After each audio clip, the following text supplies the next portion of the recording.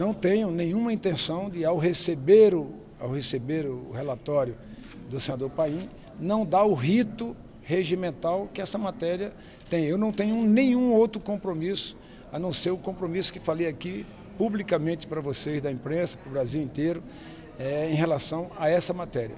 Enquanto eu não tiver o relatório, eu não posso fazer nenhum, nenhum movimento. Entregue esse relatório pelo senador Paim, eu o encaminharei é, já que a Agenda Brasil, a chamada Comissão da Agenda Brasil, foi suspensa né, no dia 31, ou eu prorrogo a comissão para ele ser votado lá, ou eu encaminho de ofício para a Comissão de Constituição e Justiça, porque ele precisa passar em pelo menos uma comissão, que no caso a Comissão de Constituição e Justiça.